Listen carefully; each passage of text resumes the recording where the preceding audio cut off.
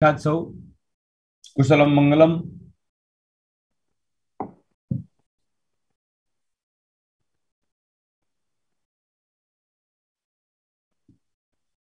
मेरो पनि सबै राम्रै छ ठिकठाक छ आइम गुड ल स्वागत छ है हाम्रो बोटनीको लेक्चरमा अब आजको लेक्चर स्टार्ट हुन्छ हाम्रो जोस त जाँगर लिएर आऊ यहाँ है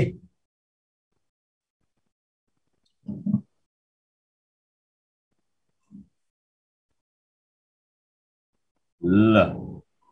कहाँसम्म पढायो सम्झना छ तिमीहरूलाई? आई थिङ्क यहाँसम्म पढ्यो जस्तो लाग्छ मलाई प्रिभियस लेक्चरमा यस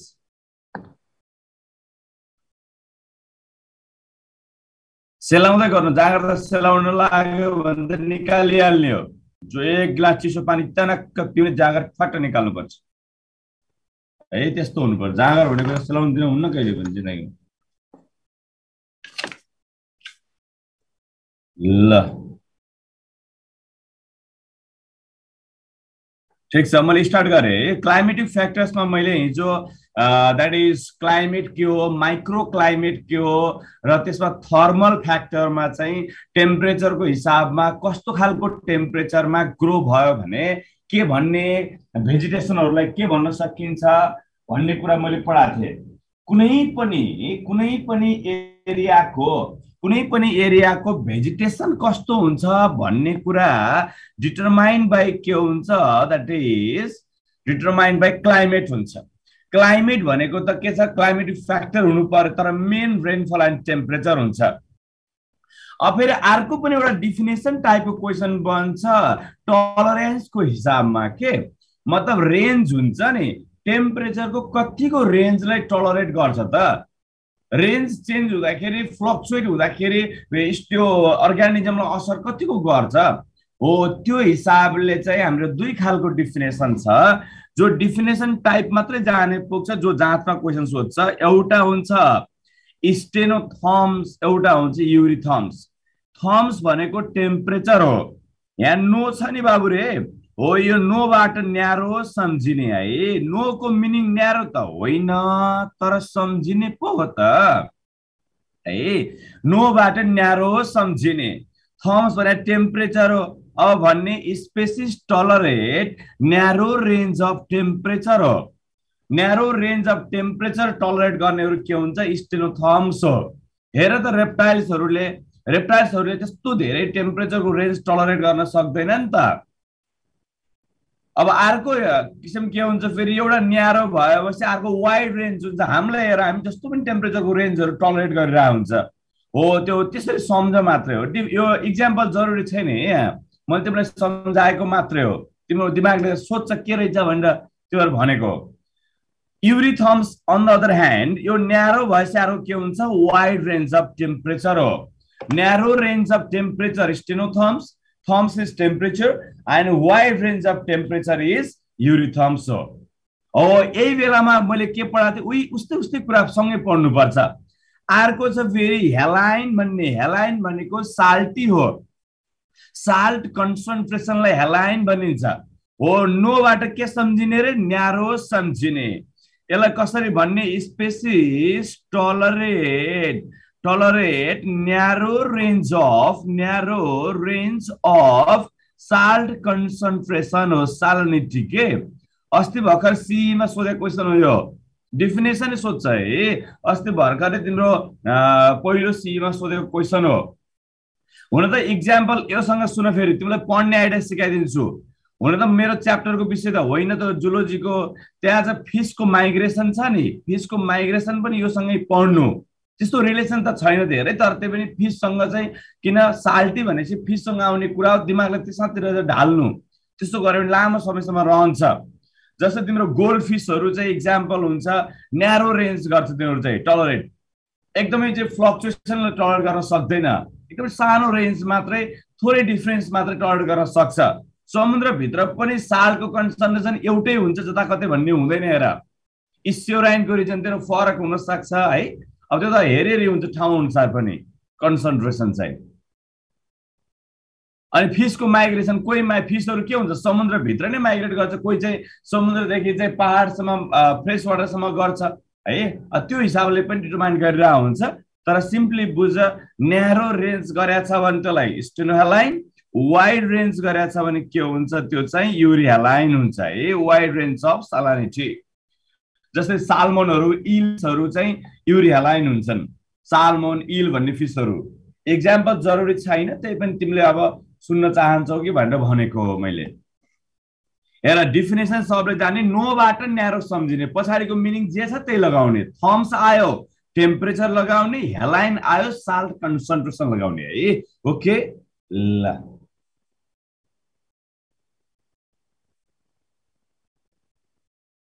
अब अर्को पनि डिफिनेसन टाइप क्वेसन बन्ने छ त्यसलाई हेरौँ है। टेम्परेचरको स्ट्राटिफिकेसन इन लेक भनेर लेकमा सुकाइरहेको छु लेकमा फ्रेस वाटरको लेकमा टेम्परेचरको स्ट्राटिफिकेसन के छ त? एनीबडी तिमीहरू मध्ये कसैलाई स्विमिङ गर्न आउँछ कि आउँदैन भन त पौडी खेल्न आउँछ। नेपाली भइसकेपछि सबैलाई स्विमिङ आउनुपर्छ। किन थाहा छ? नेपालमा एट्टी पर्सेन्ट जति रोडहरू रिभरको साइडबाट छ। र प्रायः जसो गाडीहरू एक्सिडेन्ट हुने भनेको नदीमै खस्छ भनेपछि विचार गर किन भनिरहेको छ द्रोणा सरले यस? स्विमिङ गरे बाँच्ने चान्स अलिकति बढी हुनसक्छ। नाम निकालेपछि सिक्नु है नसिकेले फेरि। ओके? ल त्यो टार्गेट चाहिँ राख्नु कि? स्विमिङको छुट्टो महत्त्व छ माछा हुनु पाइयो नि त जिन्दगीमा। स्विमिङ जानेकोले चाहिँ ठ्याक्कै अनुभव हुन्छ यो स्ट्राटिफिकेसन स्ट्राटा भने त लेयरिङ हो यहाँ आएर। ठ्याक्क लेकमा हाम फाल्दा स्विमिङ गर्दा त्यो टेम्परेचरको लेयर फरक पाइन्छ। तल खुट्टा पुगेको ठाउँमा चिसो हुन्छ तर माथितिर हल्का तातो हुन्छ नि। टेम्परेचरको फरक लेयर देख्यौ नि त तिमी। हो त्यसलाई भन्छ टेम्परेचर स्ट्राटिफिकेसन। ओकेले? हेर अब सबभन्दा माथि जहाँ हाई टेम्परेचर हुन्छ है सबभन्दा माथि जहाँ हाई टेम्परेचर हुन्छ त्यो के हो? माथिको नाम छ यहाँ चित्रमै देखाएको छु माथि त्यो हो इपिलिम्नियोन हो। त्यसलाई भन्छ इपिलिम्नियोन। जस्ट डिफिनेसन सबैले जान्नु। है सोध्न अहिलेसम्म सोधे होइन तर सोध्न सक्छ किन प्लस टूको किताबमा पनि यो कुरा लेखाएको छ? सोध्न सक्ने चान्स हुन्छ। इपिलिम्नियोन भनेको माथिको लेयर हो जहाँ टेम्परेचर हाई हुन सक्छ बिचको ट्रान्जिसन पोइन्ट हुन्छ नि फ्लक्चुएट गर्ने। चाँडै चेन्ज आउन सक्ने। बिचको ट्रान्जिसन जोन भनेको त्यसलाई मेटालिम्नियोन अर थर्मोक्लाइन भन्छौँ हामीले। एउटै नाम हो है मेटालिम्नियोन पनि भन्न सक्छ कसैले कसैले थर्मोक्लाइन पनि भन्न सक्छ नझुक्किनु। अनि सबभन्दा तलको लेयर भनेको के हो? हाइपोलिम्नियोन हो। तलको लेयरलाई हामी के भन्छ? हाइपोलिम्नियोन भन्छ है त्यसलाई के भन्ने? हाइपोलिम्नियोन भन्ने।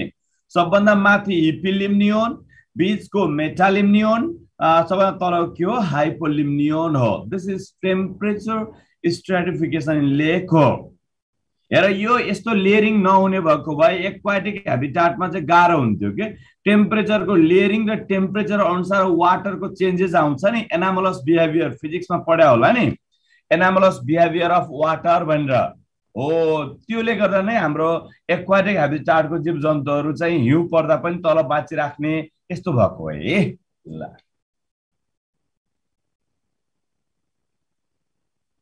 नेक्स्ट इज टेम्परेचरको बारेमा कुरा यति नै हो यिनै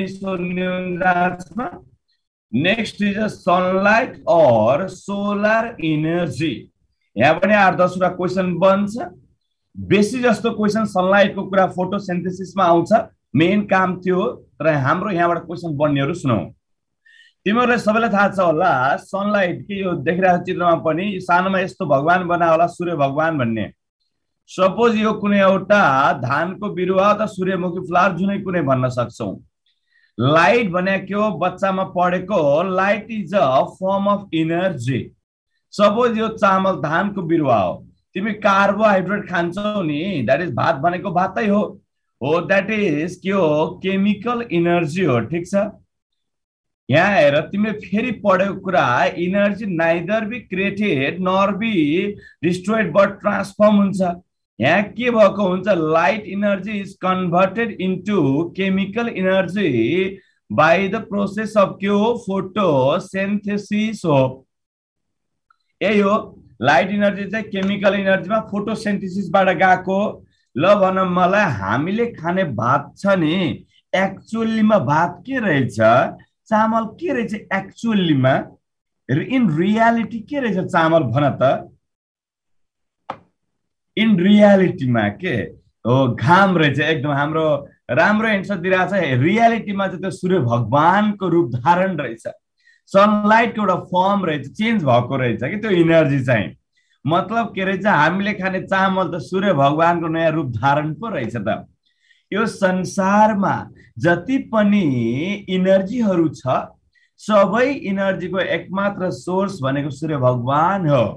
हामीले देख्ने भगवानै सनलाइट हो। किन यो इनर्जी यहाँ आइरहेछ अर्थमा सनलाइटबाटै आएको। That means ultimate source of energy के रहेछ?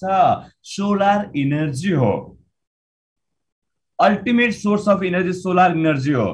फेरि मेरो भाइ बहिनी झुक्किन्छ र भन्छ सर हामीले खाने मेजर सोर्स अफ इनर्जी के हो?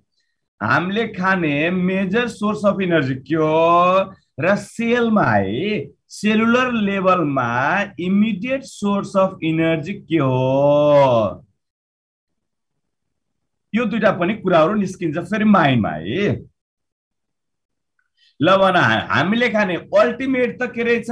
लास्टको एकदम खुदा करे त हाम्रो के रहेछ? सनलाइट रहेछ अल्टिमेट चाहिँ। तर हामीले खाने मेजर भनेको के हो? कार्बोहाइड्रेट हो नि त।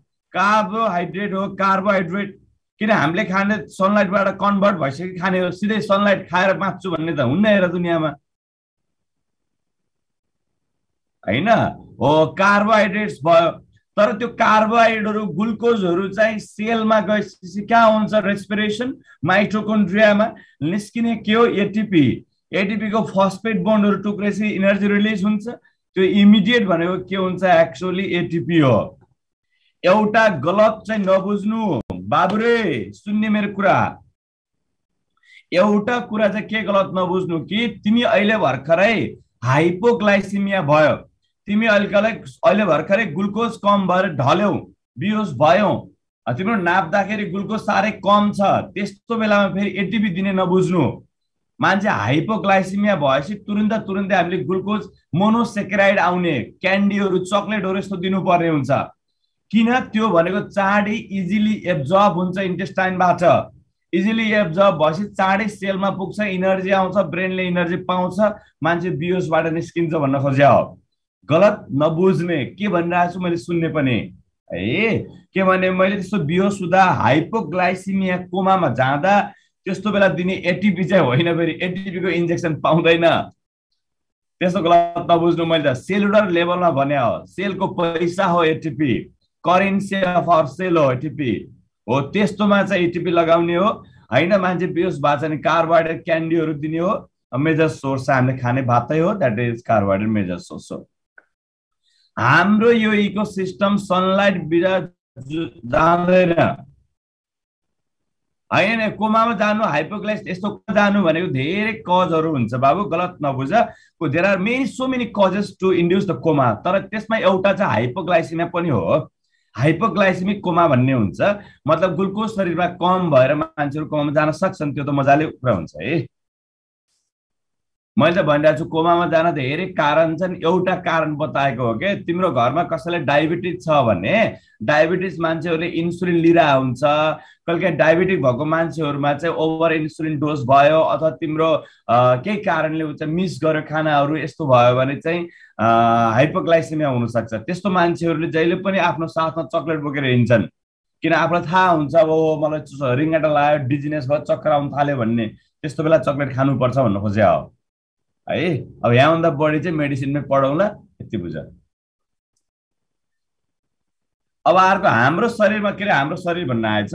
हाम्रो यो इको सिस्टमको चाहिँ ड्राइभर भनेको पनि सोलर इनर्जी हो। सनलाइट बेगर हाम्रो इको सिस्टम चल्दैन। हाम्रो इको सिस्टम सनलाइट बेगर चल्दैन। चलाउने काम कसको सनलाइटको that is solar energy driving force हो। सनलाइटको मेन काम चाहिँ फोटोसेन्थिसिसमा हुन्छ यस। अब हेर यहाँ। सनलाइटको प्रिजेन्समा स्टोमाटो ओपेन भयो भने स्टोमाटो ओपेन या डे भयो भने त्यसलाई के भन्ने? फोटो एक्टिभ स्टोमाटा भन्ने। यदि open stomata open at night सनलाइटको एग्नेस्टमा भयो भने त के हो? स्कुटो एक्टिभ हो। यहाँ चित्रमा देखाएको प्लान्ट्स के हो? ब्राफाइलम द्याट इज क्याम्प प्लान्ट्स हो। क्राजुल्सिन एसिड मेटाबोलिजम गर्ने प्लान्ट्स। फिजियोलोजीमा पढ्छौ तिमीले यो।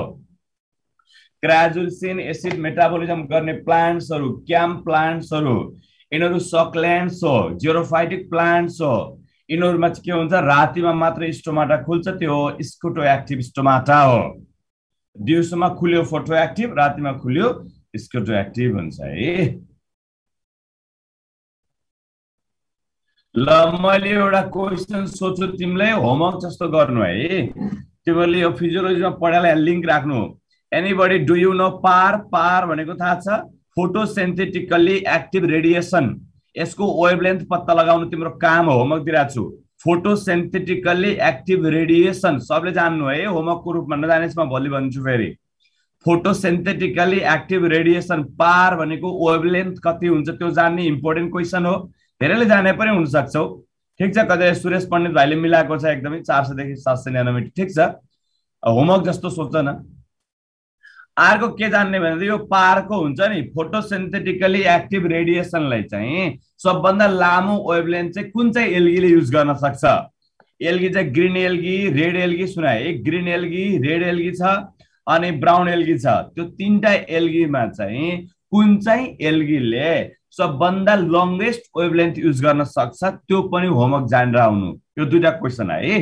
पार कति हो जान्ने? त्यसपछि कुन चाहिँ एल्गीले लङ्गेस्ट वेभलेन्थ युज गर्न सक्छ त्यो जानु। ओके नाउ हेलियोफाइट्स अनि स्कियोफाइट्स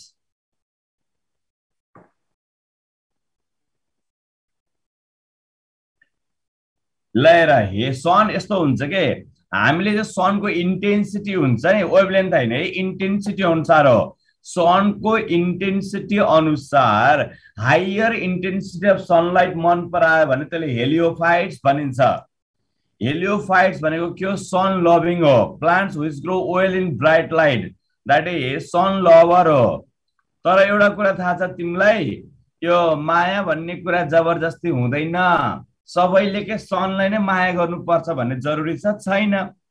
छायालाई पनि त मन पराउँछन्। छायालाई मन परायो भने सेड लभिङ हुन्छ नि। छाया मन परायो भने स्क्यो फाइट्स हो। तिमीहरूले जमानामा एउटा मुभी हेरेको थियौ बडीगार्ड भन्ने? कसैले हेऱ्यो? लभली सिंह बडीगार्ड भन्ने एउटा मुभी थियो क्या जमानामा? त्यहाँ त छाया मन पराउने को थियो भन्न सक्छ? छाया मन पराउने। त्यहाँ पनि कसैले छाया मन पराउँथ्यो र छाया भन्ने केटीलाई मन पराउँछ सलमान खान थियो यस ल भन सलमान खान बोटानिकल्ली कस्तो रहेछ? सलमान खान बोटानिकल्ली कस्तो रहेछ? स्क्यो फाइट रहेछ है छाया मन परायो नि त। बोटानिकल्ली कस्तो रहेछ अरे स्क्यो फाइट छाया मन परायो है। यिनीहरू छाया मन पराउने प्लान्ट्सहरू सानो हुन्छ किन सेडमा सेडमा ग्रो हुन्छ नि त। सेडमा ग्रो हुने भावनाले सानो खालको हुन्छ। ल तिमीलाई एउटा रिलेसन राखेर पढाउँछु। सबैले मेरो क्वेसन सुन्ने। प्लान एटमिक रिलेसन यो च्याप्टरको सुनौ है। यसो के ल सुन है। ल भन मलाई हेलियोफाइट र स्क्योफाइटमा प्यालिसेड प्यारेन्काइमा हुन्छ नि? प्यालिसेड प्यारेन्काइमा वेल डेभलप कहाँ हुन्छ भन्ने क्वेसन बन्छ के? प्यालिसेड प्यारेन्काइमा भन्ने सुनेका छौ एनाटमीमा त्यसको रिलेसन यहाँ आइदियो क्वेसनमा ल यसरी लिङ्क राख्नुपर्छ। प्यालिसेड प्यारेन्काइमा चाहिँ कुन कहाँ वेल डेभलप हुन्छ हेलियोफाइट्स कि स्क्योफाइट्स भन त? प्यालिसेड प्यारेन्काइमा भन्छ एक्वाटिकमा भन्छ कुनै भाइ विराट बिग्रियो है। एक्वाटिक त अप्सनै छैन यहाँ एक्वाटिकमा त एरेन्काइमा हो प्यालिसेड होइन नि त बाबु रे मेरो बाबु। यस हाम्रो अरू एन्सर मिलाएको छ हाम्रो सिन्धु साया सबले मिलाएको छन्। हेलियोफाइट्समा प्यालिसेड प्यारेन्काइमा भनेको मेनली फर फोटोसेन्थेसिस हो। हेलियोफाइट भनेको सन लभर धेरै फोटोसिन्थेसिस गर्न चाहन्छ ऊ। है प्यालिसेड प्यारेन्काइमा ओल डेभलप इन हेलियोफाइट सो याद रहोस्। प्यालिसेड प्यारेन्काइमा के भन्छ हेलियोफाइट्समा ओइल डेभलप हुन्छ। स्पोन्जी प्यारेन्काइमा चाहिँ स्क्योफाइट्सहरूमा हुन्छ बरु। स्पोन्जी प्यारेन्काइमा हुन्छ नि त्यस्तो स्पोन्जी प्यारेन्काइमा बरु के हुन्छ स्क्योफाइट्समा हुन्छ। मेरो प्यारो जनताहरू यो दुईवटा कुरामा नझुक्किने म यहाँ एकैचोटि लेखाएको छु। पछाडि पनि स्वाइल पढ्दाखेरि आउँछ यो आउन चाहिँ। रिपिट चाहिँ हुन्छ। ह्यालो फाइटसँग नझुक्किने र हेलोसँग फाइटसँग नझुक्किने। यहाँ आएर उस्तै कुरा छ हेलियो हेलियो हिलियम मात्र सनलाइट भयो। ह्यालो भनेको साल्ट लभर हो। Halophyte salt lover. अर्को हेलो भन्ने छ नि यो चाहिँ मार्सी एरिया हुन्छ नि। सेड लभर के? सेडमा हुन्छ तर हिलो हिलो भएको मार्सी एरियामा चाहिँ ग्रो हुने दलदल हुँदैन हिलो पनि भएको सेड पनि भएको त्यस्तोमा चाहिँ ग्रो हुने हुन्छ। हिलो हिलो भएको ठाउँमा त्यो हेलो फाइट्सको नामै हिलो छ त्यहाँ। है यस्तो यस तिनवटा कुरा उस्तै उस्तै लाग्छ। साउन्ड चाहिँ उस्तै हुन्छ तर मिनिङ फरक छ। है हेलियो फाइट्स हेलो फाइट्स र halophytes do not get confuse with this things okay got my point ल यो स्लाइड सक्यो। नेक्स्ट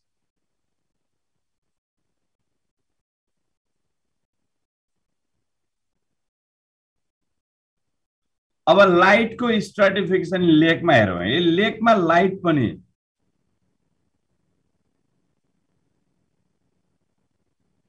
सबै इम्पोर्टेन्ट भनिरहेको छु मेरो भाइ नितेश कुमार भाइ। मैले जति पढाउँछु नि यो इकोलोजीमा सबै इम्पोर्टेन्ट म इम्पोर्टेन्ट नन इम्पोर्टेन्ट पढाउँदै पढाउँदैन।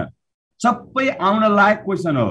सबै सीको लागि मस्ट इम्पोर्टेन्ट जे जे भन्छु अल दिज आर इम्पोर्टेन्ट र अहिलेसम्म तिमीले हेरेको छौ भने पहिला पढाएको इतिहासमा मैले पढाएकोमा इकोलोजी बाहिर क्वेसन आएको छैन अहिलेसम्म। धेरै वर्ष भयो।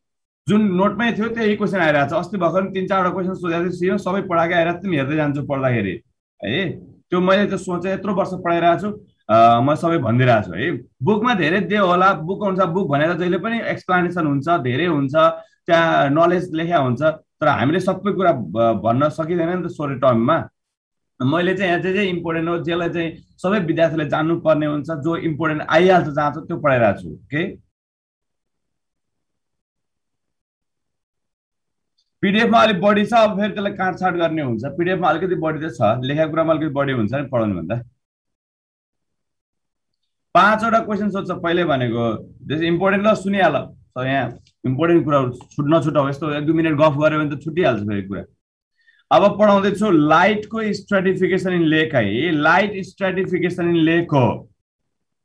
म दिन्छु सबै नाच्थ्यो सबै सबै कुराहरूको म तिमीहरूलाई सहज गराइदिन्छु कति नाच्ने लाइट स्ट्रेटिफिकेसन इन लेक भनेर है लाइटको स्ट्राटिफिकेसन चाहिँ लेकमा छ। कस्तो छ त? यो सपोज लेक भयो यो सनलाइट भयो ठिक छ? ल हेर यता अब यहाँ सबभन्दा माथि यो एरियातिर जहाँ यहाँ माटोहरू छ हिलो हिलो छ है। यहाँतिर चाहिँ हाइड्रोफाइट्सहरू ग्रो भयो होला रुट हुने खालको कोही फ्री फ्लोटिङ हाइड्रोफाइट्सहरू यहाँ एकदमै ग्रो भइरहेको होला ठिक छ? सनलाइट यहाँ डाइरेक्ट आउँछ फोटोसेन्थेसिस हुन्छ यो लेभलमा ठिक छ? हो यो सबभन्दा माथिको लेभल जहाँ प्रड्युसर धेरै हुन सक्छ फ्री फ्लोटिङ खालका अथवा यो यो एरिया हुन्छ नि जहाँ स्यालो एरिया हो यो एरियामा हुन सक्छन् प्लान्ट्सहरू हो यस्तोलाई हामी के भन्छौँ? कुन एरिया भन्न सकिन्छ? कसैलाई याद छ यो? एनिबडी कसैलाई आउँछ यो चाहिँ हेर त? माथिकै जहाँ चाहिँ प्रोड्युसर्सहरू धेरै छ। प्रोड्युसरहरू धेरै भएपछि त्यसलाई के भन्छ? लिटोरियल भन्छ है। है माथि यसलाई भन्छ लिटोरियल लिटोरियल जोन भन्छ। यसलाई के भन्छ? लिटोरियल भन्छ। हेर लाइटको यो। नझुक्किने टेम्परेचरसँग यसलाई भन्छ हामी लिटोरियल जोन भन्छ। लिटोरियल सबभन्दा माथि जहाँ प्रोड्युसरहरू फ्री फ्लोटिङ यस्तो छ। अब समर्स हाइड्रोफाइट्स हुने होइन? त्यसपछि तिम्रो कन्ज्युमर पनि होला यहाँ। प्रड्युसर कन्ज्युमर होला नि यहाँ। हो यो भनेको बिचको भाग। भनेको के हो? एक्चुली यसलाई भन्छ लेमेन्टिक भन्छ है। लेमेन्टिक लेमेन्टिक अथवा लिमिनेटिक भन्छ। अब जसरी भन स्पेलिङ रङ पनि हुनसक्छ यसमा चाहिँ। लेमेन्टिक अथवा लिमिनेटिक भन्छ। यो भनेको चाहिँ बिचको लेयर हो। सबभन्दा तलको लेयर भनेको प्रोफाउन्डल हो। प्रोफाउन्डल यहाँ प्रड्युसर पाउँदैन। यही क्वेसन जाँचमा आउँछ बाबु रे यहाँ प्रड्युसर पाउँदैन। कन्ज्युमर डिकम्पोजर मात्रै पाउँछ। प्रोफाउन्डलमा प्रड्युसर पाउँदैन। ए यो लेकमा हो यदि समुद्रमा गयो भने यदि समुद्रमा यही कम्पेयर गर्यो भने यस्तो हुन्छ फेरि। एउटा हुन्छ युफोटिक फो भनेको लाइटोफोटिक भने यु भने ट्रु हो। युफोटिक हुन्छ त्यसपछि डिस्फोटिक हुन्छ। है त्यसपछि के हुन्छ? एफोटिक हुन्छ। कसैले अप्सनमा चाहिँ एभाइजिएल भन्ने पनि देख्छौ। एभाइजिएल भनेको डिप लेयर भन्ने अरू कस के होइन है मिनिङ चाहिँ डिप भने सबभन्दा डिप भनेको चाहिँ एभाइजिएल जोन भन्छ डिपेस्ट लेयर समुद्रमा चाहिँ। मेरो सबै प्यारा विद्यार्थीहरू एक मिनट फेरि सुन त यसमा। लाइटको स्ट्राटिफिकेसन भेरी इजी सबभन्दा माथि लिटोरियल बिचको लेमेन्टिक है माथि लिटो खायो त्यसले। लिटोरियल बिचको लेमेन्टिक तलको प्रोफाउन्डल प्रोफाउन्डल धेरै तल जहाँ प्रोड्युसर पाउँदैन। समुद्रमा कम्पेयर गर्यो भने माथि युफोटिक लाइट छ माथि सोके बिचको डिस्फोटिक नुस नुस हाफ हाफ लाइट भएको अलिकति लाइट कमै गएको छ। ए फोर्टिक लाइट पुगेन अब सबभन्दा डिप लेयर भनेको एभाइजियल हो त्यो अप्सनमा देखिन सक्छौ नआत्तिनु। मेसी ओके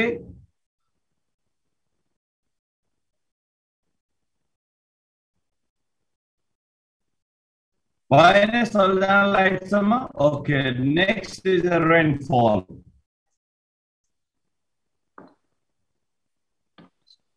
producer त माथि नै हुन्छ। प्रड्युसर धेरै त जहाँ लाइट धेरै पर्छ त्यहीँ हुन्छ। लिटोरियलमा हुने भयो। प्रड्युसर धेरै छ है।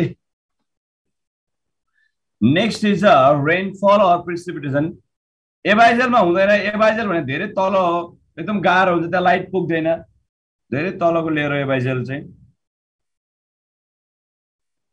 प्रोड्युसरमा के अरे प्रोफाउन्डरमा केही हुँदैन होइन। प्रोफाउन्डरमा मैले कन्ज्युमर डिकम्पोजर त हुन्छ त। प्रड्युसर पो हुँदैन घाम पुग्दैन नि त त्यहाँ त्यही भएर भनेको। बुझ्यौ? नेक्स्ट इज अ रेनफल ल पानी पर्यो है। आज पानी परेको छैन नेपालतिर भन त। नेपालतिर आज पानी परेको छैन बाबु रे परेको छैन? छैन ल बर्बाद हो परेको परेको थियो त यहाँ ल ठिक छ। अब दसैँ तिहार आउनु थाल्यो पानी नपर्ने बेला नि भयो। त्यो ठिकै छ।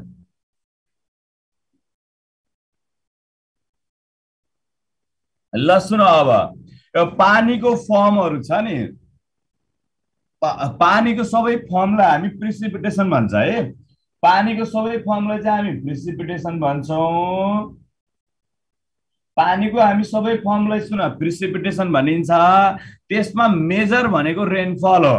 Rainfall is the major source of precipitation हो अरू चाहिँ जस्तै हिउँ हुन्छ स्नोफल हुन्छ ड्रिजल हुन्छ होइन? हेल स्टोन असिना पर्छ अनेक हुन्छ नि त। त्यसमा मेन चाहिँ के हो रेनफल हो। सोइल थाहा छ तिमीलाई? सोइलमा वाटर हुन्छ नि। सोइलमा वाटर हुन्छ नि। हो सोइलमा वाटरको मेन सोर्स पनि रेनफल हो है। सोइलमा अहिले पढाइको कुरा गर। पढाइ बाहेक अरू कुरा चाहिँ क्लास क्लासमा गर है। कायरोमा के छ काठमाडौँमा के भयो क्लास पछि क्लास क्लासमा अहिले पढाइको कुरा रेनफल मैले के भनिरहेको छु सोइलको वाटर हुन्छ नि सोइलको वाटरमा जति वाटर छ सोइलमा त्यो सोइल वाटरको पनि कमन सोर्स अथवा मेजर सोर्स भने रेनफल हो। यहाँ आएर रेनफल अनुसार के हुन्छ त? कसै ठाउँमा कुनै कुनै ठाउँमा डेली पानी पर्यो के हुन्छ भन? डेली पानी पर्यो जिन्दगीभर पानी परेको परे परेको परे भयो। पानी परिरहेपछि के हुन्छ? बाढी पहिरो आउँछ नभन्ने। डेली पानी परेपछि के हुन्छ? ट्रपिकल रेन फरेस्ट बन्छ। ट्रपिकल रेन फरेस्टमा दुई सय पचास सेन्टिमिटर भन्दा बढी पानी पर्छ। पानी पर्ने प्राय प्राय हामी मिलिमिटरमा नाप्छौँ डेली यसमा तर यो चाहिँ धेरै भावनाले सेन्टिमिटरमा नापेको यसको बारेमा मैले सबै पढाइसकेको छु धेरै म्याक्सिमम् हुने भनेर ट्रपिकल रेन फरेस्ट यस यो वर्षभरि पानी परेपछि यस्तो हुन्छ यदि यदि रेनफल चाहिँ सातदेखि आठ महिना मन्थ हो मन्थ पर इयर भयो। यस्तो भएपछि जङ्गल चाहिँ डेसिडिएस हुनसक्छ डेसिडिएस फरेस्ट नेपालको जस्तो पात झर्ने हो। पात झर्ने भने के हो पछि मैले जङ्गलको टाइपमा पढाउँदैन अहिले पढ्ने रिलेसन राख्ने। इन्ट्रान्सको क्वेसन भने यस्तो हो बाबु रे सिजनल पिरियोडिसिटी इक्जाममा क्वेसन के सुन्न सक्छ? सिजनल पिरियोडिसिटी कहाँ देखिन्छ? कुन जङ्गलमा देखिन्छ भन्छ? सिजनल पिरियोडिसिटी कुन जङ्गलमा देखिन्छ भन्छ? त्यो डेसिडियस फरेस्टमा नेपालको जङ्गलहरू प्राय जसो डेसिडियस छ। तराईमा पात झऱ्यो ट्रपिकल डेसिडियस हिमालमा पात झऱ्यो अल्पाइन डेसिडियस पहाडमा पात झऱ्यो टेम्परेट डेसिडियस तर पात त झऱ्यो नि त। पातै त झऱ्यो हिउँदमा पात झऱ्यो। गीतै छ तिमीले सुने होला पनि। तिमीले चाहिँ गीत पनि सुने होला। यो सुक्दैन सालको बोट हिउँदमा पातहरू झरेर भन्ने। त्यो भनेको चाहिँ पात झरी हिउँद विन्टरमा भन्न खोज्या हो। लाइट नहुने एफोटिक जोन हो म भनिरहेको छु अघिदेखि एफोटिक हो। यदि त्यहाँ अप्सनमा चाहिँ एभाइजियल जोन पनि देख्यो भने त्यो भने पनि डिपेस्ट लेयर हो भने हो। तर लाइट नभएको सिधै सोध्यो भने लाइटसँग रिलेसन राखेर हेर्नु एफोटिक ए भने नो भने हो फोटिक भने लाइट भने हो। बुझ्यौ? दुर्गेशको होइन बाबुले त्यो पुरानो गीत त सुक्दैन सालको बोट हिउँदमा पातहरू झरेर भन्ने। त्यो साह्रै राम्रो गीत हो। त्यो भनेको डेसिडियस फरेस्टको गीत हो। म त त्यो लिङ्क बनाएको तरी म गीततिर गएको हो र बुझेँ यति कुरा ओके? यदि रेनफल चाहिँ रिलेसन राखिदिन्छु नि म रेनफल चाहिँ विन्टरमा मात्रै भयो ल पानी चाहिँ विन्टरमा मात्रै पर्यो के? विन्टर ओन्ली हो त्यस्तो भएपछि त्यस्तो जङ्गललाई स्क्रब भनिन्छ हेर स्क्रब फरेस्ट भन्छ। यो नेपालमा छैन त्यस्तो विन्टरमा मात्रै पानी पर्ने। बरु तिमीहरूले सोधिरहेको थियो नि हो म बस्ने ठाउँमा चाहिँ पानी यहाँ पर्यो भने विन्टरमा मात्रै पर्छ। जस्तै इजिप्टमा बसिरहेको छु यहाँ पानी चाहिँ समरमा पर्दैन। पर्यो भने चाहिँ विन्टरमा मात्रै पर्छ। त्यो भनेको के हो? यहाँको जङ्गल चाहिँ स्क्रब फरेस्ट हो मेडिटेरियन फरेस्टहरू विन्टरमा मात्रै पानी पर्ने। अब अर्को कुरा के जान तिमीले यदि रेनफल के? रेनफलको तिम्रो मात्रा हुन्छ नि। हो रेनफलको मात्रा चाहिँ तिम्रो दुई सय यो दुई सयदेखि दुई सय पचासको रेन्ज अथवा दुई सयको रेन्जमा जान्छ नि। हो अलिकति कम के? यो ट्रपिकल रेन फरेस्ट भन्दा अलिकति कम भएपछि तिमीले सब ट्रपिकल भन्न सक्छौ है। रेन्जेसहरू रेनफलको रेन्ज चाहिँ अलिकति कम छ भने के भन्न सक्छौ? द्याट इज के भने सब ट्रपिकल फरेस्ट भन्न सक्छौ सब ट्रपिकल यो रेन्ज यस्तो हुन्छ हाम्रो वास्तवमा ठ्याक्कै एक्ज्याक्टली यही भन्ने त हुँदैन रेन्जेस हुन्छ कि? जस्तै तिम्रो चाहिँ दुई सय पचासभन्दा माथि त्यो भयो होइन? दुई सयसम्म डेढ सयदेखि तिम्रो दुई सयको रेन्ज हुनसक्छ त्यो रेन्जमा भयो सयको रेन्जमा भयो यस्तो रेन्जेस आउँछ नि। त्यो रेन्जेस अनुसार चाहिँ हाम्रो टाइप्स अफ फरेस्ट यसरी छुट्टाएको चाहिँ हुन्छ है।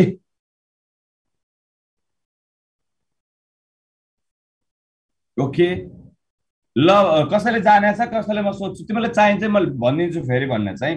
जसले कसैलाई थाहा छ कि छैन आइडन्ट नो त्यो ल भन मलाई। यदि वर्षमा चाहिँ यो दुई सय पचासभन्दा माथि त के भयो? ट्रपिकल रेन फरेस्ट भयो। यदि दुई सयदेखि दुई सय पचाससम्म यो रेन्जसम्म हान्यो रेनफल सिम्पली भन्नु पर्यो भने के हुन्छ? यो चाहिँ सब ट्रपिकल भन्न सकिन्छ। यस्तो ठ्याक्कै रेन्ज दिएर सोधेको छैन क्वेसन त्यही पनि अब जान्न पनि सक्छौ। सब ट्रपिकल फरेस्ट भयो। सयदेखि दुई सयको रेन्जमा आछ भने टेम्परेट बन्न सक्छ। टेम्परेट फरेस्ट है अनि तिम्रो पचासदेखि सय छ भने चाहिँ के हुन्छ? यो रेनफल राख्यो है सेन्टिमिटरमा पर इयर हो है फेरि। पचासदेखि सय भएपछि के हुन्छ? सबल पाइनतिर जान सक्छ के? बुझ्यौ? दुई सय पचासभन्दा माथि त ट्रपिकल रेन फरेस्ट नै छ। दुई सयसम्मको रेन्ज दुई सयदेखि दुई सय पचास भनौँ सब ट्रपिकल हुनसक्छ। सयदेखि दुई सय टेम्परेट पचासदेखि सय अल्पाइन अब सबल पाइनहरू पचासभन्दा कम भयो। अब लेस देन पचास भएपछि चाहिँ अल्पाइनतिर जान्छौँ। दसभन्दा नि कम भयो भने तिम्रो डेजर्टतिर जान्छ। यो रेन्ज हो या कुनै फिक्स भन्ने हुँदैन। ठ्याक्कै यति नै पर्छ भन्ने चाहिँ हुँदैन है फेरि। यति नै पर्छ भन्ने चाहिँ हुँदैन। त रेन्जेस हो भने तिमीलाई बुझाउन खोज्या यत्रो कुरा सिकाएँ नि मैले। सुने यत्रो कुराहरू सिकाएँ नि मैले जस्तै रेनफलको हिसाबले यस्तो हुँदो रहेछ भनेर। हो यसकोबाट एउटा क्वेसन इम्पोर्टेन्ट छ। त्यो भनेको रेनफलले mainly determines nature of plant community हो इम्पोर्टेन्ट क्वेसन जाँचमा which of the following determines the nature of plant community सोध्यो? टेम्परेचर रेनफल छ बोथ एन्सर छ भने बोथ लगाऊ। तर single must answer is rainfall हो it's a very very important question रेनफलले नै प्लान्ट कम्युनिटी कस्तो छ डिटरमाइन गर्छ mainly rainfall mainly determines the nature of plant community as you know by example किन दुई सयदेखि दुई सय पचास सब ट्रपिकल सयदेखि दुई सय टेम्परेट पचासदेखि सय सब अल्पाइन पचासभन्दा नि कम भएपछि अल्पाइन हुन्छ दसभन्दा नि कम भएपछि डेजर्ट हुनसक्छ पानीकै कुराले चाहिँ यहाँ प्लान्ट्सको कम्युनिटी डिटरमाइन भएको छ नि त। हो this is a very very important question very very important question सबले जानु अरू अप्सन छ बोथ छ धेरै छ क्लाइमेटिक फ्याक्टरले डिटरमाइन गर्छ। तर यदि छैन त्यस्तो भने रेनफल हो। अरे बाबु रे बाबु नै नानु सानो सेन्टिमिटरमा निकै सेन्टिमिटर भनेको दस मिलिमिटर बराबर एक सेन्टिमिटर हुन्छ नि त। त्यो त मिलिमिटरमा नाप्न गाह्रो भएर सेन्टिमिटर नाप्या हो। कि त वार्षिक रूपमा नाप्या हो नि त यो। है वार्षिक रूपमा नाप्या भएर भने ओके? ओके यस्तो भनेको। रेनफल हो प्लान्टको लागि चाहिँ रेनफल हो है? बोटनीमा चाहिँ मस यो त्यो हुनेछ फ्याक्चर अब नेक्स्ट क्वेसन ट्राई गरौँ त। मोडरेट रेनफल समरमा है? समरमा रेनफल मोडरेट छ। अब विन्टरमा अलिअलि भनौँ है? यसमा चाहिँ लेखेको छैन क्वेसनले तर विन्टरमा अलिअलि पनि लेख्न सक्छ। समरमा रेनफल प्लस विन्टरमा पनि अलिअलि। त्यस्तोले चाहिँ रेनफल मोडरेट हुनु पर्यो। ह्याप्पी हुनु भएन। त्यसलाई चाहिँ के लिड्स गर्छ भन्छ? प्रायः यस्तो यस्तो माइल्ड खालको रेनफल भएपछि विन्टरमा नि अलिअलि हुन्छ है फेरि यो। विन्टरमा हुँदैन आउने हुन्न। त्यस्तो भएपछि प्रायः जस्तो ठाउँमा के हुन्छ? ग्रासल्यान्ड बन्न सक्छ। रेनफल कसरी मेजर गर्छ भनेर मेट्रोलोजी पढ्न पर्छ भाइ सोधिहाल्यो। नर्मली रेनफल आकाशबाट परिरहेको हुन्छ कुनै इन्स्ट्रुमेन्ट पाइन्छ रेनफल मेजर गर्ने त्यो इन्स्ट्रुमेन्टलाई राखिदिने त्यसले चाहिँ आधा दिनभरि पानी कति पऱ्यो मेजर गर्छ। इट्स भेरी इजी टेक्निक त्यहाँभन्दा बाढी चाहिँ मेट्रोलोजी त्यो मौसम विज्ञानहरूको जागिर त हामीले खाइदिनु मिल्दैन नि त। तिमीले डिटेल जान्न मलाई युट्युबमा भिडियो पनि हेर्न सक्छौ कसरी नापिन्छ भन्ने कुरा। म चाहिँ सामान्य तिमीले सोधेर भनिदिएको है। ल क्वेसन हेरिहालौँ त क्वेसन हेरौँ। क्वेसन हेरौँ म क्वेसन गराउँदैछु। यस ल हेर है क्वेसन मेरो साथीहरू। यो ग्राफिकल क्वेसन दियो कन्सेप्चुअल क्वेसन सोध्यो सपोज सोधेर त छैन सोध्ला कि? यो ग्राफमा यहाँ रेनफल दियो है। ल रेनफल हाम्रो इन्स्ट्रुमेन्टले नाप्यो। ठिक छ? सेन्टिमिटरमा नापेको है। मैले रेनफल यता अघि भने जस्तै। यहाँ मैले जिरोबाट राखेँ। अब दस होला पचा अनि पचास होला सय होला। है अनि यहाँ दुई सय पचास सेन्टिमिटर राखेँ। ठिक छ? यहाँ मैले वाइ एक्सिसमा टेम्परेचर राखेँ है। यहाँ पचपन्न डिग्री सेल्सियससम्म राखेँ मैले। यहाँ जिरो दस डिग्री बिस डिग्री तिस डिग्री पचपन्न डिग्री ओके ल अब यहाँ कुनै बायोम दे एरिया दिएँ मैले। यदि यो एरिया यो एरियालाई ए नाम राखे यो एरियालाई बी नाम राखे यो एरियालाई सी नाम राखे। फाइन्ड आउट एबिसी ल भन सबैले एबिसी के के हो? दिस इज भेरी इम्पोर्टेन्ट तिमीले यत्रो बेर पढेपछि यो कुरा कन्सेप्चुअल जान्नुपर्छ। डेसिडेस फरेस्ट भनेको चाहिँ यस्तो हो। डेसिडेस भनेको वास्तवमा छुट्टै फरेस्टको टाइप भन्दा पनि पाँच झर्ने जङ्गललाई भनिन्छ। त्यस्तोहरू चाहिँ वर्षमा सात आठ महिना पानी पर्ने अरू बेला नपर्ने त्यस्तोमा देखिन्छ। डेसिडेस जहाँ पनि हुनसक्छ है। तराई पहाड हिमाल जहाँ पनि हुनसक्छ। पतझर छ सिजनल वाइज चेन्जेस देखाउँछ भने त्यो डेसिडियस हो। बुझ्यो मेरो भाइ? ल। ल एन्सर ट्राई गर सबैजनाले। एबिसी पत्ता लगाऊ। गिभन ग्राफबाट सबैले दिस इज कन्सेप्चुअल कुरा हो। हामीले पढिसकेको कुरालाई रेनफल र टेम्परेचर दिएको छु मैले एबिसी पत्ता लगाऊ। कुन कुन एरिया होला एबिसी एबिसी कुन कुन एरिया हो भन त? ए के हो? ए ए भनेको tropical rain forest excellent answer A भनेको के छ? ट्रपिकल रेन फरेस्ट किन ए हेर हाई टेम्परेचर हाई रेनफल दुवै हाई छ ट्रपिकल रेन फरेस्ट हामीले त्यही पढ्यो हाई टेम्परेचर हाई रेनफल हुने ट्रपिकल रेन फरेस्ट ठिक छ? अनि बी के होला? बी? बी के हो? बी? बी डेजर्ट हो। बी त डेजर्ट हुनु पऱ्यो नि। High temperature low rainfall. B के हो? डेजर्ट। हाई रेनफल के अरे हाई के भएको छ high temperature low rainfall. B desert. C के हुन्छ? सी भनेको फेरि के छ हेर त? Low temperature low rainfall alpine region अथवा टुन्ड्रा रिजन भयो है ल। एक्सलेन्ट एन्सर हाम्रो धेरैले मिलाएको छ। भेरी भेरी एक्सलेन्ट छ है। भेरी भेरी एक्सलेन्ट सी भनेको त सब अल्पाइन हो। लो टेम्परेचर लो रेनफल भएको छ है। सीमा चाहिँ ओके टुन्ड्रा अथवा अल्पाइन ठिक छ?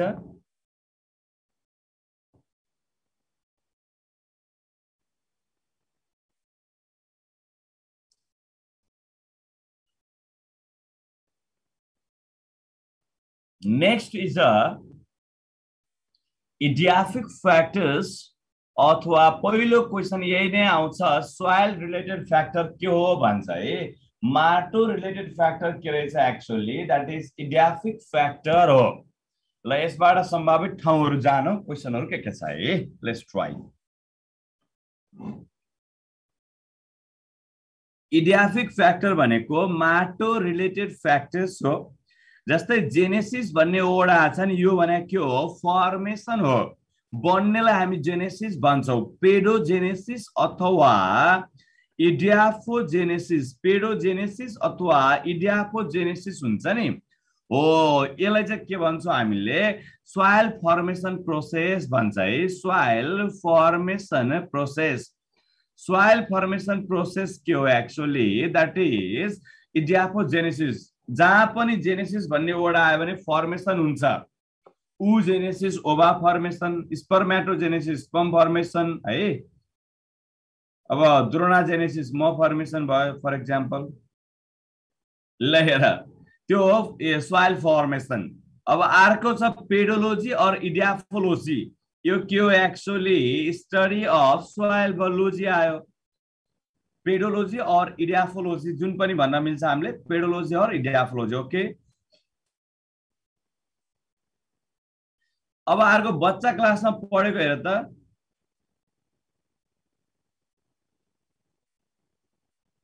वेदरिङ भने के हो ल भन बच्चामा पढेको कसैलाई आउँछ? वाट वाट इज वेदरिङ ल भन वेदरिङ के हो? यो ठुलो रक्स हो है ठुलो रक्स चाहिँ बिस्तारै ब्रोकन है. बिस्तारै broken into smaller sand particles भयो। हो यो स्मालर स्यान्ड पार्टिकल्स छ त्यसलाई के भनिन्छ? वेदरिङ भनिन्छ। र यो बन्नु भनेको फर्स्ट स्टेप इन पेडोजेनेसिस हो। पेडोजेनेसिस यो हो क्वेसन जान्नु पर्ने चाहिँ फेरि। वेदरिङ त जसले पनि मिलाउँछ। वेदरिङ इज द के रहेछ? Weathering is broking down of the bigger rocks into smaller sand particles हो। ठुल्ठुलो चाहिँ स्यान्ड रक्सहरू स्यान्ड पार्टिकल्समा जान्नु भने वेदरिङ हो बुझ्यौ?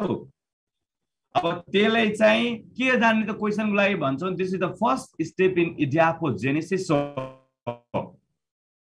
सोइल बनेको पहिलो स्टेप हो सोइल बन्नलाई पहिला के चाहिन्छ? द्याट इज वेदरिङ हुनु पर्यो ओके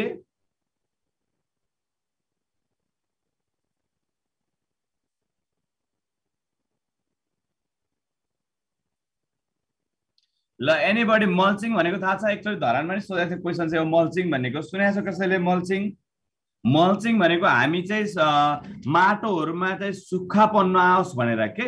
सुक्खापन चाहिँ न चिसो भइराखोस् चिस्यान चाहिँ रहिराखोस् मोइस्चर चाहिँ रहिराखोस् भन्ने आइडिया लगाउँछौँ नि त्यसलाई मल्चिङ भनिन्छ। माटोमा चाहिँ हामी अनेक तरिकाले चाहिँ मोइस्चरलाई कन्जर्भ गर्ने। यसलाई भनिन्छ मल्चिङ भनिन्छ। है मोइस्चर कन्जर्भेसन अफ सोइल हो। यो एकचोटि धरानमा सोधेको क्वेसन हो पहिला के?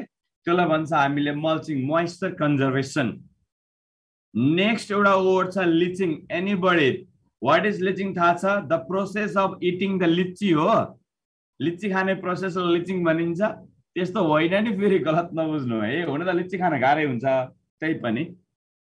यहाँ आएर सपोज यो कुनै माटो छ है सपोज यो माटो हो माटोमा चाहिँ मुसलधारे पानी पर्यो। ल मुसलधारे पानी परेर सोइल बग्यो भने त्यसलाई के भनिन्छ? मुसलधारे पानी परेर माटो बग्यो त्यसलाई के भनिन्छ? सोइल इरोजन भनिन्छ। तर माटो बगेन माटोमा भएको न्युट्रिएन्ट्सहरू मिनरल्सहरू बग्यो के? माटोमा भएको मिनरल्स न्युट्रिएन्ट्सहरू बग्यो यसलाई भनिन्छ लिचिङ है washing of washing of nutrients nutrients and minerals minerals from soil हो है यो पर्कुलेसनसँग नजुकिनु है। पर्कुलेसनले चाहिँ सुपरफिसियल लेयर मात्रै बगाउन सक्छ। त्यस्तो धेरै न्युट्रिसनहरू नबगाउन सक्छ। पर्कुलेसन हुँदाखेरि सुपरफिसियल लेयरहरूमा चाहिँ वाटर सर बग्ने चाहिँ पर्कुलेसन हुन्छ। लिचिङमा चाहिँ के हुन्छ? सोलुबल भएरै तलसम्म जान सक्छ तलको लेयरहरूको न्युट्रियन्स पनि बगाउन सक्छ भन्ने हो। त्यो भने लिचिङ हो। अब अरू कुराहरू पनि म सिकाउँछु दुई तिनवटा कुराहरू। पर्क्युलेसन होइन पर्कुलेसन हो। पिआरसिएचओएलएटिआई होइन हो। पर्कुलेसन भन्ने हो। सुपरफिसियल लेयरमा वाटर बग्ने त्यस्तोलाई भनिन्छ कि? पर्कुलेसन चाहिँ। उस्तै मिनिङ लाग्छ सुन्दाखेरि त त्यस्तो साह्रो न्युट्रिसनहरू बगाउँदैन त्यहाँ पर्कुलेसनमा चाहिँ।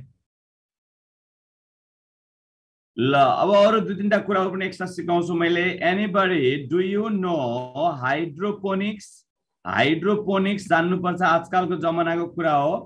हाइड्रोपोनिक्स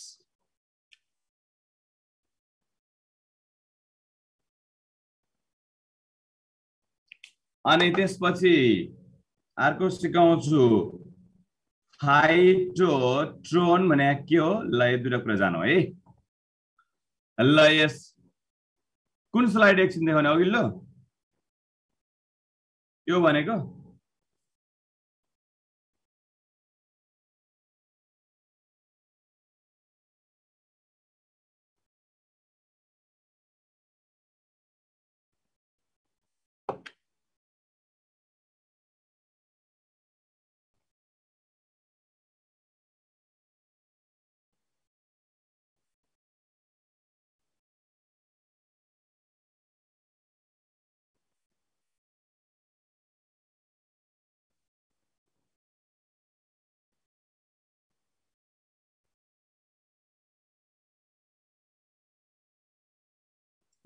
भयो होइन?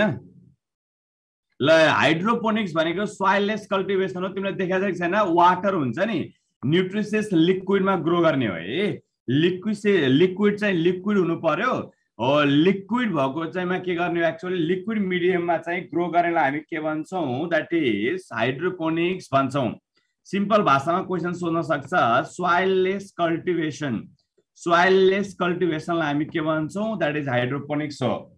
नेपालमा त्यस्तो धेरै डेभलप त छैन तर आजकल मैले गरिरहेको देखिरहेको हुन्छु है। कति कति मान्छेहरूले हुन्छ नि हाइड्रोपोनिक्स। फेरि प्लान्ट्सलाई अड्डाउनु त पर्छ नि फेरि कतिले चाहिँ पानीमा त्यतै बग्दैन भन्ने सोच होला। त्यस्तो नसोच्नु। न्युट्रिसियस युज गर्ने हो लिक्विड मिडियामा चाहिँ। अब फाइटोट्रोन भनेको चाहिँ फेरि फाइटोट्रोन भने के हो त? वाट इज फाइटोट्रोन भन्यो भने यो चाहिँ हामीले आर्टिफिसियल बनाएको हुन्छ नि इन्भाइरोमेन्ट कन्ट्रोल इन्भाइरोमेन्टमा त्यसमा कल्टिभेसन गर्ने हो। Cultivation in cultivation in control environment हामीले कन्ट्रोल गर्ने हो इन्भाइरोमेन्टल फ्याक्टर चाहिँ। आर्टिफिसियल मेथड हो। त्यसलाई भन्छ हामी फाइटोट्रोन भन्छ है।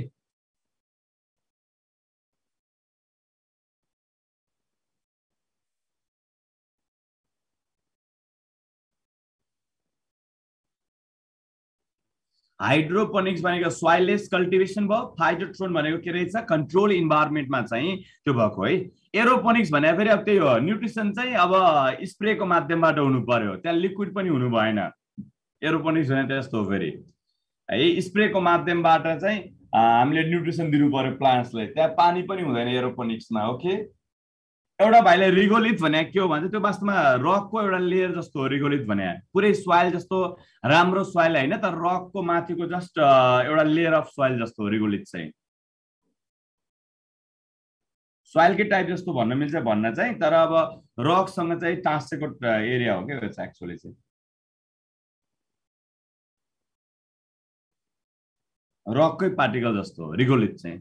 ल अब हामी आज लास्ट पढौँ सोइल होराइजन सम्बन्धी है। सोइल होराइजन सम्बन्धी पढ्छौँ। सोइल होराइजनमा माथिबाट तल जाँदै गर्दा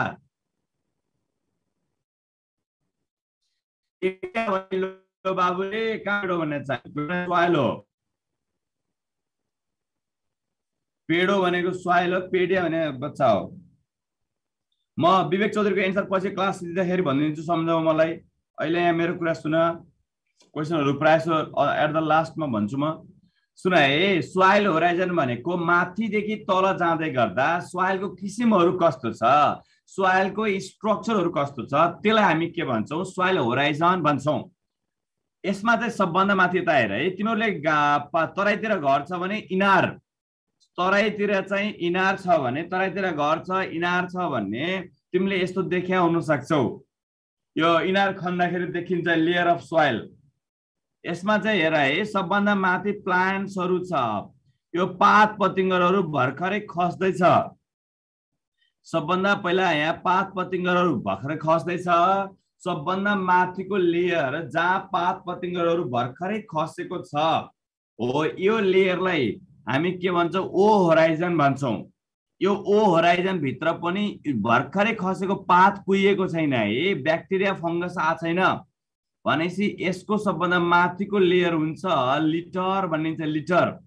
लिटर भने फोहोर त फोहोर हो तर कुहिएको छैन कुहिसकेका छैन। जस्ट खसेको छ लिटर। जब यो लिटरमा ब्याक्टेरिया फङ्गस आएर अलिक बढी कुहिन्छ त्यसलाई डफ भनिन्छ। लिटर पछि डफ आउँछ।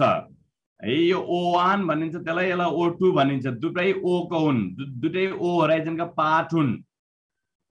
है दुइटै के हो? ओ होराइजनको पार्ट हुन्। त्यसलाई के भनिन्छ एक्चुली द्याट इज लिटर अथवा डफ लिटर अथवा ड्रफ हो। सोइल होराइजन सोइल प्रोफाइल यही हो है। अप्ठ्यारो मान्नु पर्दैन एउटै कुरा हो। द्याट इज सबभन्दा माथि हेर है। कुहिएको छैन ब्याक्टेरिया फङ्गस आएको छैन लिटर भयो ओवान डफ भनेको अलि डुङडुङती गनायो कि अलिकति अब फोहोर भयो। लिटर डफ इङ्ग्लिसमा मिनिङ त उस्तै लाग्छ तर फोहोर हो ओ होराइजन हो। इन्ट्रान्सको क्वेसन सुन अब यो बुझ्यो भने। इन्ट्रान्समा क्वेसन सोध्छ सोध्छ यस्तो है मैले लेखाएन तर क्वेसन भने इम्पोर्टेन्ट इन डेजर्ट क्वेसन सुन है in desert in desert O horizon is well developed absent बीमा पुवरली डेभलप के हो भन ल? In desert in desert O horizon is in desert O horizon is well developed absent एमा option बीमा poorly developed के हुन्छ? वेल डेभलप कि पुवरली डेभलप भन त? हो के हुन्छ? एक्चुअली पुवरली डेभलप्ड हुन्छ। इभन एब्सेन्ट हुने भयो। बाबु यो को वेल डेभलप भन्ने? कन्सेप्ट के भनिरहेको छु मैले पात पतिङ्गर भर्खरै खसेको भनेको छु। डेजर्टमा कहाँ खस्छ पात पतिङ्गर? रुखै छैन त कसरी खस्छ है? पुवरली डेभलप हुने भयो। त्यही भएर त सिकाइरहेको छु यस्तो कुराहरू। नझुक्किने क्वेसन सहित। त्यो माथिको लिटर अथवा डफ ओभराइजन जब यहाँ चाहिँ ह्युमिफिकेसन हुन्छ जब चाहिँ यहाँ ह्युमस बन्छ कालो माटो बन्छ है एसिडिक माटो बन्छ त्यो हो A horizon this is rich in humus हो। ह्युमसमा रिच ह्युमसमा रिच एसिडिफाइड भनेको ए होराइजन हो। यसलाई हामी अर्को नाममा इलुभियल सोइल पनि भन्छ इलुभियल बी होराइजन भनेको रिच इन मिनरल्स हुन्छ। मिनरल्समा रिच भनेको बी होराइजन हो। यहाँ हेर जरा बीसम्म पुगे सीमा पुगेको छैन। यसलाई आइलुभियल लेयर भन्छ। पढ्दाखेरि जसरी पढ तर यसरी जान है लेयरमा नझुक्किनु। बी भनेको पछाडि आउँछ आई भने पनि पछाडि आउँछ ई अगाडि आउँछ ए अगाडि आउँछ। ए को टप सोइल ए को अर्को नाम इलुभियल बी को आइलुभियल है अब आइलुभियल इलुभियल जे भन कुरा एउटै हो।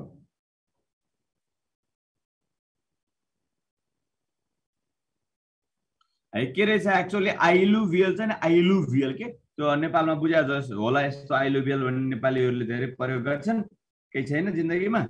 ल हेर बी भने पछाडि आउँछ त्यो पछाडि आउँछ आइलुभियल सम्झ? रिच इन मिनरल्स हो ए भनेको अगाडि आउँछ इलुभियल रिच इन ह्युमस हो अनि सी होराइजन भनेको चाहिँ वेदरिङ हुने हो। रक्सहरू वेदरिङ हुने ठाउँ भनेको हो? सी होराइजन हो। अनि आर भनेको डी होराइजन पनि भनिन्छ त्यो भनेको रक्स भएको। रक भएको हुन्छ नि। हो त्यो रक भएकोलाई हामी के भन्छौँ actually that is D horizon भनिन्छ। This is call soil horizon हो। यसलाई हामी सोइल होराइजन्सहरू भन्छ है। हो यति जान्नु। टप सोइल ए भयो ए ओ भनेको माथिको भयो B sub soil rich minerals अनि सिरिङ चाहिँ रक्स हो। यति कुरा जान्नु सोइल होराइजनमा बाँकी कुरा चाहिँ हामी यो डिफिनेसन टाइपको क्वेसन एउटा गर्न भ्याउँदैन कि भ्याउँदैन? ल बाँकी कुरा चाहिँ हामी नेक्स्ट लेक्चरमै पढ्छौँ। आजलाई मैले यति पढाएँ। एकजना भाइले सोधेको एउटा क्वेसनसम्म भनिदिन्छु। ल मैले पढाउने कुरा आजलाई यति हो। अब क्वेसनको एन्सर भनिदिन्छु एक दुईजना भाइले जति सोधेको छ। एकजना भाइले सोधेको छ सर टेरिटोरी के हो भनेर।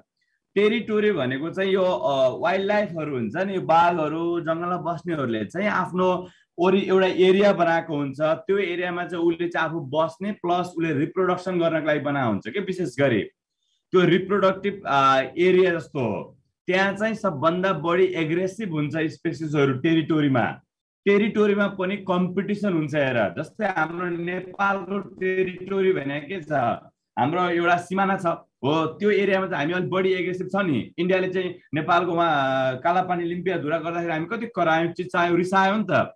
किन हाम्रो टेरिटोरीमा अरू स्पेसिस आउनु थाल्यो। इन्डियन स्पेसिस आयो भनेर। हो टेरिटोरी भने त्यस्तो हरेक स्पेसिसमा त्यस्तो हुन्छ। सबभन्दा बढी एग्रेसिभ हुन्छ स्पेसिसहरू टेरिटोरीमा कम्पिटिसन ज्यादा हुन्छ। एउटाले अर्कोको टेरिटोरीमा चाहिँ अट्याक गर्न गाह्रो हुन्छ। त्यो वाइल्ड लाइफहरूले चाहिँ पिसाबले फेरेर अथवा खुट्टाले खोस्रेर एरिया बनाएको हुन्छ योभन्दा भित्र मेरो टेरिटोरी हो मेरो एरिया हो भनेर। है त्यो त्यो भित्रमा गयो भने चाहिँ अरू कुनै स्पेसिसलाई पनि त्यसले अट्याक गर्न सक्छ। त्यस्तो हो। फुड रेन्ज भनेको फेरि के हो? होम रेन्ज होम रेन्ज त टेरिटोरीमै मिल्छ तर फुड रेन्ज भने सुन। त्यो टेरिटोरी नै हो होम रेन्ज भने चाहिँ। फुड रेन्ज भनेको चाहिँ कहाँसम्म खाना खान जाने भन्ने हुन्छ। हामी जस्तो मान्छे जस्तो हुँदैन कि अब नेपालबाट खाना खानलाई इजी पाउनु पर्ने। है? त्यो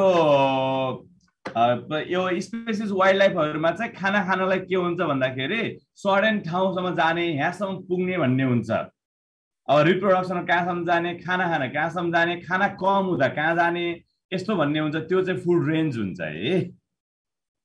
ए त होम रेन्ज अथवा टेरिटोरी भने त इलाकै हो नि। उहाँ घर के अरे आफ्नो इलाकामा बाघ के अरे कुकुर पनि सेयर बन्छ भन्ने सुने छैनौ कुकुर पनि आफ्नो इलाकामा सेयर हुन्छ है के भन्ने सुने होला नि तिमीले त्यो त टेरिटोरीमा त्यस्तै हुन्छ पनि आफ्नो टेरिटोरीमा आफ्नो इलाकामा त त्यो भन् त। ल। ओके। ल आजलाई यति नै गरौँ है। अब बाँकी कुरा चाहिँ हामी नेक्स्ट लेक्चरमा गरौँला। Bye have a good time सबैजनालाई खाना खाऊ मिठोसँग।